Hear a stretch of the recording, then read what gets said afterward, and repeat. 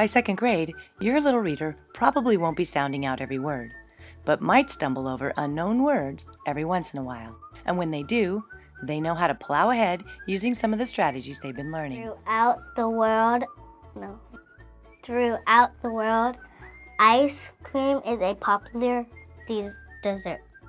This word was kind of hard for me, but you tell me to use this strategy sometimes to cover out a word you know, and then read that word, and it was through, and then covered that word up, and then out, so through out.